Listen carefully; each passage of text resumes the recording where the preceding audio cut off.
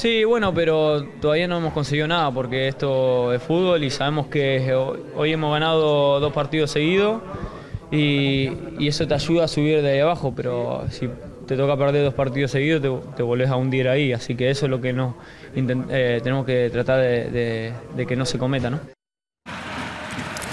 Ezequiel Luna fue precisamente uno de los más destacados del encuentro en la saga, que aunque no consiguió mantener la portería a cero hasta el final, al menos sí lo hizo con autoridad durante toda la primera mitad, algo que no sucedía desde el derby. Esa templanza inédita en otros partidos fue detonante para la primera victoria en casa de los blanquiazules desde el mes de noviembre.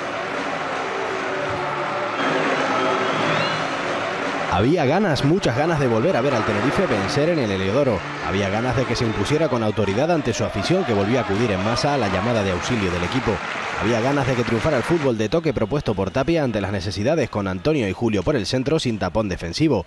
Pero las ganas no lo son todo, hizo falta también suerte, esfuerzo, paciencia y orden para llegar al descanso con la portería cero, la clave para derribar al líder. Este equipo ahora se ha soltado, el futbolista pues no está con, tan presionado como estaba anteriormente y, esa presión que tenemos eh, sabemos, sabemos llevarla ahora mismo. Y la confianza llegó con el primer penalti, el árbitro se equivocaba, sí, pero esta vez era a favor y había que aprovecharlo. Hidalgo lo repetía dos veces y con su gesto indicaba que lo metería cuantas hiciera falta. También había ganas de evitar la agonía de los últimos partidos y el gol de Nino cinco minutos después aportó una tranquilidad que emocionó al propio delantero casi hasta la lágrima. El estadio volvió a votar.